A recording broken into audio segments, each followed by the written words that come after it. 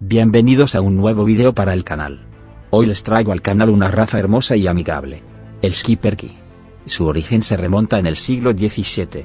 Hacia 1690 el Schipperke era el perro preferido de la gente y de los zapateros del barrio de Sangre. Estos perros tenían gran reputación como cazadores de ratones, ratas y topos. El Schipperke fue expuesto por primera vez en 1882 en la ciudad de Spa. Fue la reina María Enrica de Bélgica quien lo puso de moda. Su introducción en Gran Bretaña y Estados Unidos data de 1887.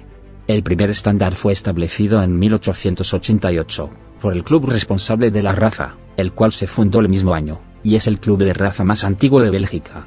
Apariencia general, es un perro pastor de tamaño reducido, pero de construcción bien sólida.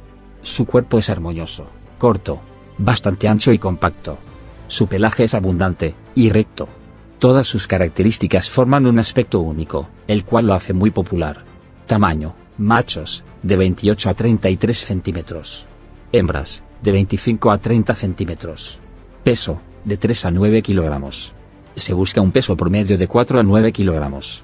Proporciones importantes, la altura a la cruz es igual a la longitud del cuerpo, es por lo tanto un perro de construcción cuadrada. El pecho es bien descendido hasta el nivel de los codos. El hocico es visiblemente menos largo que la mitad de la longitud de la cabeza. Temperamento, un excelente pequeño perro guardián, avisador, desbordante de vitalidad, distante con los extraños.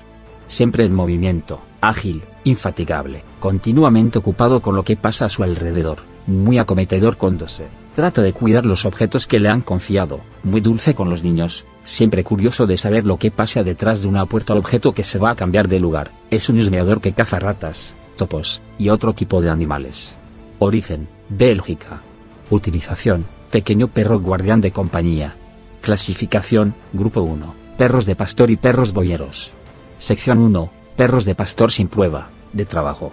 Si deseas que hable sobre alguna raza, házmelo saber en la caja de comentarios.